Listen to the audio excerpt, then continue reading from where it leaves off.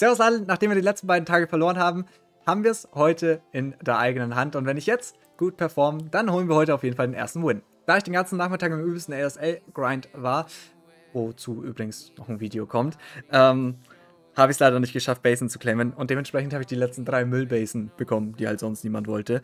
Wir versuchen aber trotzdem was einigermaßen Kreatives drauf zu machen. Und dementsprechend spiele ich einen Warden Walk hier von 3 Uhr und versuche den Feuerball hier auf die Bauhütte zu klatschen. Werf dann drei Erdbeben hier über dieses komplette Rathaus, Zeugs drumherum und schießen einen Pfeil einmal durchs Rathaus durch. Damit haben wir auf jeden Fall, denke ich, den ganz satisfying Plan fürs Rathaus. Ansonsten hier auf 9 Uhr sollte ein Flameflinger alles holen.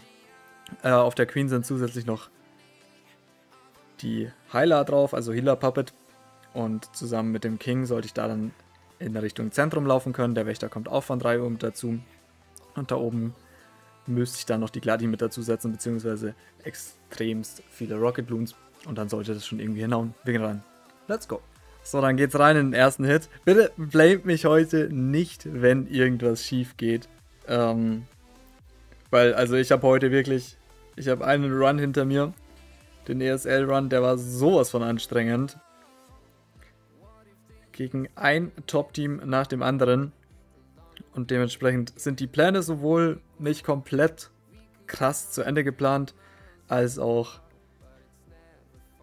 die Angriffe könnten wahrscheinlich jetzt ein bisschen krachen. Aber ich gebe mein Bestes und dann schauen wir, dass wir dann einigermaßen gutes Video hinbekommen. So, jetzt... Oh, what the heck? Oh mein Gott, das könnte jetzt schon ein bisschen krachen. Okay, der Wächter holt noch das Rathaus. Ist okay. Ist okay.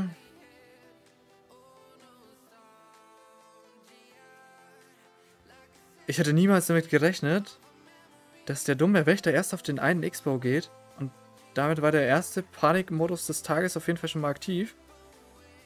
Ähm, keine Ahnung, ich habe es gar nicht gecheckt, um ehrlich zu sein. Den Indus wollte ich eigentlich nicht unbedingt einsetzen, aber ist okay soweit. Ja, und Erdbeben habe ich auch noch, okay.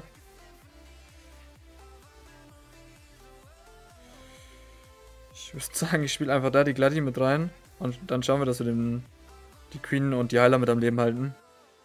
Aber das ist schon echt alles andere als optimal gerade. Queen heilen wir dagegen. Dann sollte die weiter die, die Schüsse aushalten. Die Headhunter helfen hier gut mit. Okay, nevermind, die wurden jetzt rausgesniped. Aber der Wächter sollte eigentlich trotzdem irgendwie am Leben bleiben, oder? Gladi können wir dann zünden. Oh mein Gott, ist das ein schlechter erster Hit. Ähm, können wir den irgendwie noch durchkriegen? I mean, die CC geht jetzt erst auf, das ist einigermaßen gut. Und der Wächter bleibt auch am Leben.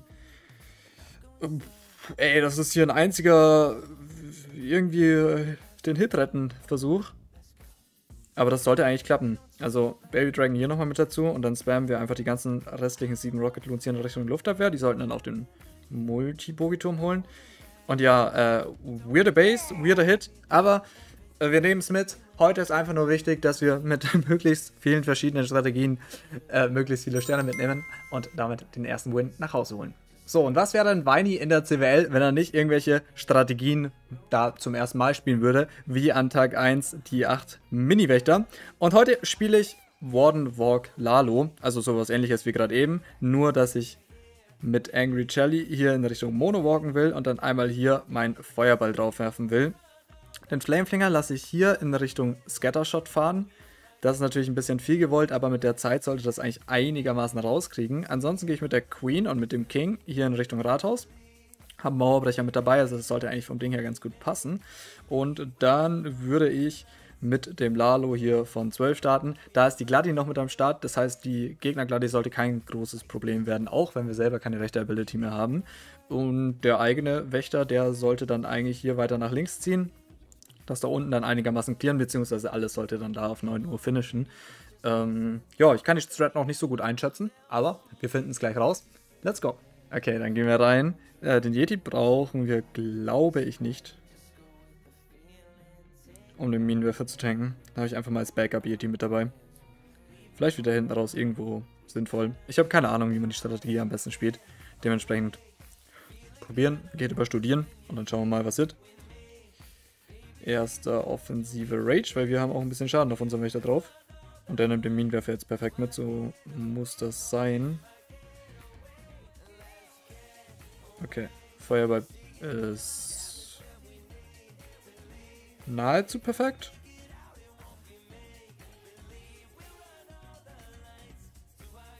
Ah, passt. Ist okay. Der Warden zieht nach 9 Uhr, genauso wollen wir es haben. Ansonsten sollte hier der Funnel eigentlich ganz gut aussehen. Hier ein Babydrache mit dazu. Können wir hier mit dem King starten. Ah, ich hatte zwischendurch überlegt, ob ich nicht sogar ein bisschen Tank mitnehme für meine Helden. Das wäre vielleicht nicht schlecht gewesen. Das wäre eine Option gewesen, tatsächlich. Ähm, aber ja, man muss ja nicht immer alles haben, ne? Ansonsten spielen wir den Yeti jetzt einfach mal hier oben. Oh. Alle Headhunter dazu spielen war nicht die smarteste Entscheidung, aber ist okay. Hier unterstützen wir mal kurz unsere Super Luckies. Die machen dann nämlich einen sehr, sehr guten Job, wenn die hier einen Freeze bekommen. Die kriegen noch einen Freeze. Bitte. Ich hoffe, ich habe die Dinger nicht gejinxt. Ansonsten macht der Wächter einen optimalen Job. Und langsam frage ich mich, warum ich den Lalo mit dabei habe. Äh. Ja, ich kann es euch nicht sagen. Hallo. Ich will das Rathaus gerne. Das Rathaus wäre super.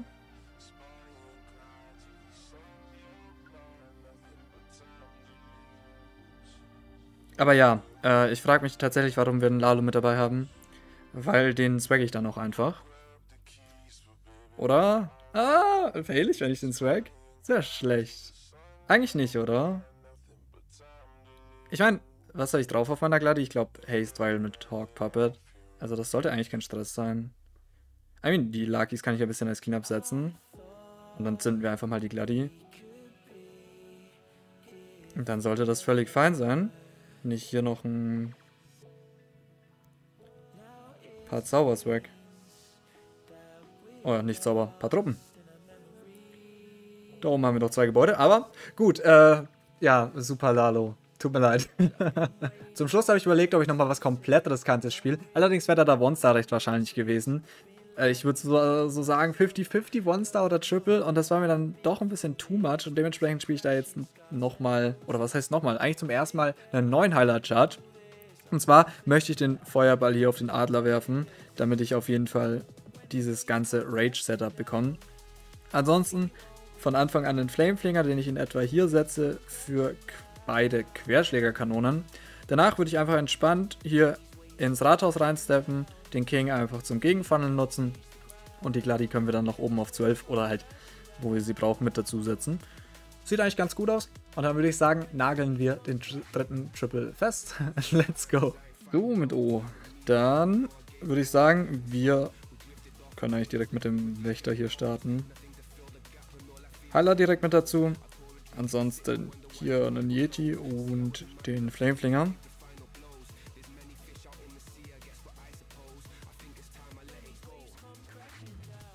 Würde sagen auch direkt einen offensiven Rage. Headhunter mit dazu für den King. Und dann sieht das doch schon mal ganz gut aus. Flameflinger sollte soweit auch seinen Job machen.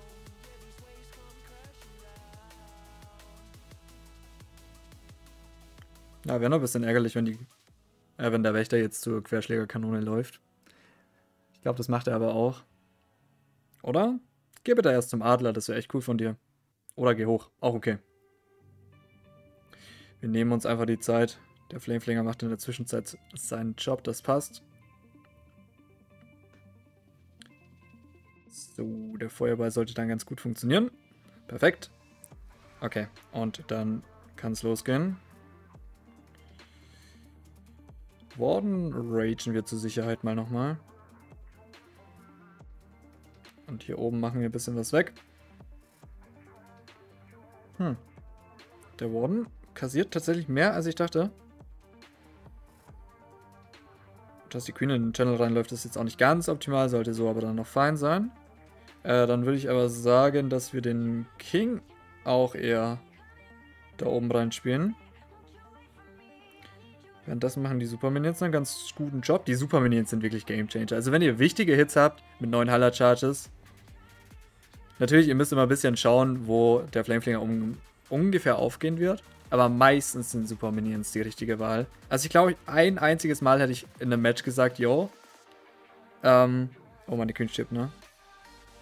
Ich glaube, ein einziges Mal hätte ich in einem Match gesagt, äh, Yetis wären in dem Fall jetzt geiler gewesen, aber da lief halt der Hit an sich schief. Äh, und dementsprechend ist der Flameflinger viel zu früh aufgegangen. Und da wären dann Yetis einfach nicer gewesen. Ähm, aber, ja, overall denke ich, ganz entspannter CWL-Tag.